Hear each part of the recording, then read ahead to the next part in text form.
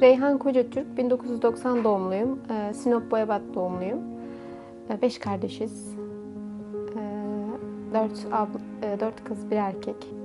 Benim çocukluğum memlekette geçti, köyde. Aynı şekilde köy hayatı. Aynı dönemde okudum. Liseden sonra İstanbul'a çalışmaya geldim. Ondan beridir de İstanbul'dayım. 2007'den bu yana. Hemşireyim. Yani ATT'yim. Şu anda sağlık ocağında aile hekimliğinde çalışıyorum. Eşimle Erdem Hastanesi'nde çalışırken tanıştık. O da hastanede çalışıyordu aslında. Satın almada depoda çalışıyordu. Ee, ben bebek hemşiresiydim. Asansörde o da e, malzemeleri çıkarmak için asansör önünde beklerken kapı açılıyor. Beni görüyor. Daha önce hiç görmemiş. Oradan işte öyle etkileniyor. Beni bulmaya çalışıyor hastane içerisinde. Öyle arkadaşıyla birlikte bütün servisleri aramışlar, etmişler. Beni bulmuşlar. Ben gece nöbetlerindeydim. Tabii bir kere görmüş sonra bulamamış vesaire öyle. Sonrasında bana söyledi. Ben istemedim. 19 yaşındaydım zaten. Ee, daha 19 yaşındayım. Biriyle olacaksa evlilik için olacak, olmayacaksa da hiç olmayacak dedim. İleride nasip kısmet ama şu an fikrimi sorsan ileride de olmaz senle dedim. İşte nasip 3 ay sonra baktım ben ondan aşık olmuşum işte. Ee, özlüyorum, kıskanıyorum vesaire. Öyle başladı. Üç buçuk yıl bir görüşme süremiz oldu. İşte bu dönemde askerlik süresi. Askerlikte benim ağlamalarım. Tek başıma gittim askerlikte. Ta Antalya Finike'ye gittim uçakla. Öyle üç buçuk senemizi geçirdik. Sonrasında düğün evlendik işte. Daha sonrasında işte e, eşim hastanede hala çalışıyordu. Yani benim işte eşimin emniyetle vesaire hiçbir alakası yoktu ki iki defa polis olmak istemiş. Böyle çeşitli sebeplerden dolayı olamamış. Sonra bekçilik alımları oldu. E, bekçilik alımlarına işte katılmak istedi. Ama o kadar çok istiyordu ki ben e, onun için bu hayatta hep mutlu etmek istedim. Her şeyin en iyisi olsun, işte e, sevdiği bir şeyler olsun, mutlu olsun. O yüzden de bekçi olmasını istedim. Onun için istedim ama kendim istemedim ama bir taraftan da olmayacağını düşündüm açıkçası. Çünkü sınava girdi, sınavdan çok e, yanlışı çoktu. Sınav sonrasında baktığımızda çok yanlışı vardı. Artık olmayacak, kesin kazanamazsın dedik ve çok kişi girmişti o sınava ama kazandı. Bir gün mutfaktaydı. Ben de Ömer'e oğluma yemek yediriyordum şey haberi çıkmış televizyonda. Koşu koşu geldi böyle televizyon izlemeye başladı ama ben fark etmedim. Çocuğa yemek yediriyordum. Şey dedi, eğildi izledi izledi. Bak dedi Reyhan dört tane dedi müftü kıldırıyor ya cenaze namazını dedi. Dua etmeye başladı işte Allah'ım bize de nasip olsun ben de şehit olayım falan diye. Bıraktım yemek yedirmeyi. Böyle ağlamaya başladım dedim. Üzeyir sen ne diyorsun hani çok güzel dua ediyorsun. Ben dedim yanarım, çok işte zorlanırım ama bu duana amin demekten başka bir şey gelmez elimden. Çünkü dedim hani çok güzel bir süreç olur, çok güzel bir şey olur senin için. Ben de senin için en iyisini isterim dedim. Amin dedim. Öyle dua etmiştik birlikte. Ondan yaklaşık bir ay sonrasında falan şehit oldu.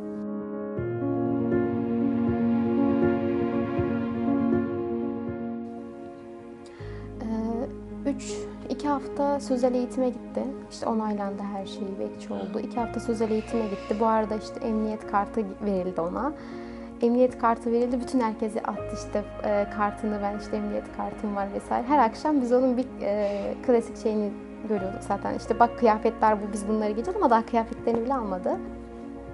Bir haftada silah eğitimi oldu. Silahını teslim ettiler işte.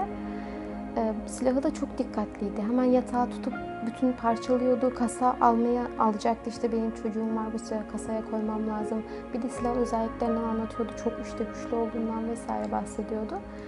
Sonra ikinci haftasında e, tekrar pazartesiydi. Silah eğitimine gittiklerinde oldu zaten. Kaza kurşunuyla oldu.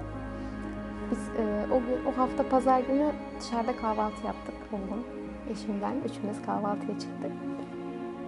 O gün şey düşünmüştüm. E, sahilde yürürken bir tarafta oğlum bir tarafta eşimin elinden tuttum ama eşimin elinden tuttuğumda sanki ilk defa o heyecanı hissedersiniz ilk sevginizin elini tutma. O kadar o heyecanı hissettim ki ya dedim 9 senedir tanıyorum ben bu insanı ve 9 senedir birlikteyim çocuğum var.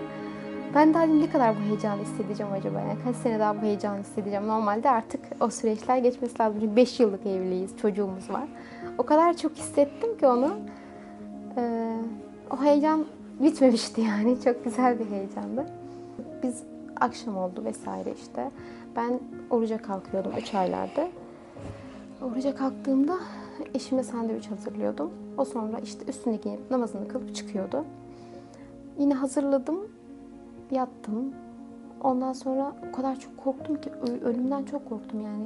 Uyuyamadım bir süre uyuyamadım. Sonra uyudum eşim kalkmış beni uyandırdı. Beni normalde o saatte uyandırmaz. Seccadesini arıyor. Bu arada benim eşim tek bir seccadede kılardı. Evlendikten sonra başka hiç seccade değiştirmedi. Ha, o kadar seccadesi de o kadar açıkta bir yerde ki hemen yanında beni uyandırdı. Seccademi bulamıyorum dedi. Verdim. Üzüldüm burada seccaden niye görmedin? Seccadesini verdim. Gitti namazını kılıp çıktı. Ben de işe gittim. Arkadaşlarıyla birlikte e, Üsküdar Çevik Kuvveti'nin önünde toplanıyorlar. O arada işte eşim bir gün öncesinden e, şey almıştı. İşte silahını temizlemek için aletler. Onları arkadaşıyla anlatıyor vesaire. Arka tarafta diğer arkadaşı da e, şarjörüm takıldı diye şarjörünü kontrol ediyor. Halbuki o arkadaşı da ben eşiyle de konuştum, kendisiyle de konuştum. Çok dikkatli bir arkadaşıymış. Aynı şekilde eşim gibi silahına çok sahip çıkarmış. E, şarjörünü kontrol ederken mermi olduğunun farkında bile değil. E, ateş alıyor, eşimin kolundan çıkıyor, göğsünden alt damarını parçalayıp camı kırıyor. Eşim elini kaldırıyor, vuruldum diyor. Oğlum var benim, Ömer Hamzam var diyor. Zaten orada araç içinde de kaybı durmuş, ambulansta da kaybı durmuş. Ee, vuran kişi de aslında yetim bir biri. Gidiyor hatta intihar etmeye çalışıyor, edemiyor. Ben nasıl bir çocuğu yetim bırakırım diye. Ben şu açıdan bakıyorum, benim eşimin şehit olmasına vesile oldu. Yani öyle ya da böyle acısını çekecek ama Allah razı olsun benim de oğlumun hakkı helaldir ona.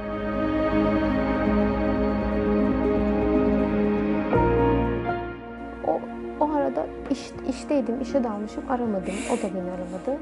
Sonra e, kaynım aradı, 9 gibi işte 8 gibi dönmüş. Hastaneye gittik hemen.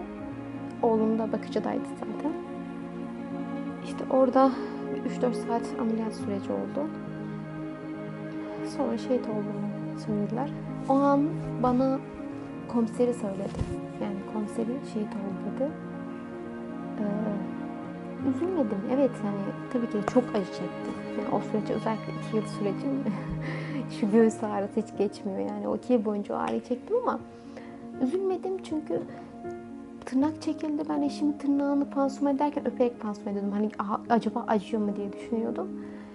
Şimdi düşünüyorum diyorum kabir azabı yok, sırat köprüsü yok, hiçbir şey yok. Direkt cennetlik yani böyle bir şey ben daha diyorum bu hayatta ne verebilirim bu adama daha verebileceğim bir şey yok yani. O yüzden çok mutlu oldum. Cenazesinde de çok ağladım ama hep e, arkadaşlarıma bile benim ağlıma bakmayın ben mutluyum. Ben iş yerinde e, siparişli yemek yediğimiz zaman bile yarısını yer ya doydum diye yarısını eşime götürürdüm. Ha, Eve gidince ona da söyleyebilirim ama onun yarısını yiyemiyordum eşime götüreyim diye.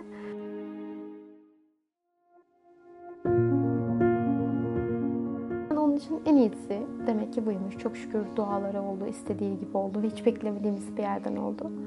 O yüzden biz mutluyuz yani. Çok şükür hamdolsun. Bunun hiç çok kötü bir şey olarak algılanmasını istemiyorum. Çok güzel bir şey. Benim o kişinin ahiretini düşünmeyeceğim şekilde bir ahiret hayatı olacak Allah'ın izniyle. O yüzden bence bu şehitlik kavramı çok yüce bir kavram.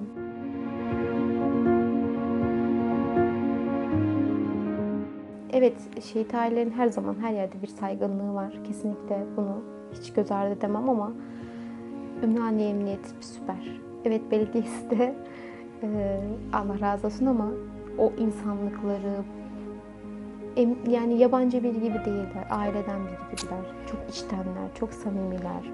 Yani genel olarak çalışan personelleri, destek şubedeki personeller hepsine o kadar çok yani onlara o kadar çok dua ediyoruz ki bizim çocuklarımızla ilgilenmeleri, o samimiyeti kurmaları bizim için çok önemli.